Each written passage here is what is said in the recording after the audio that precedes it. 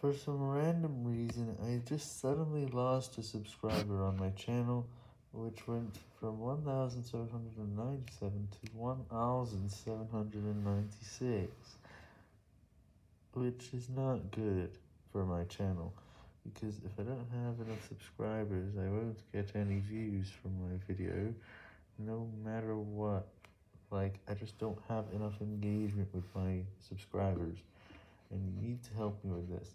I want my old viewers to come back, and that's it.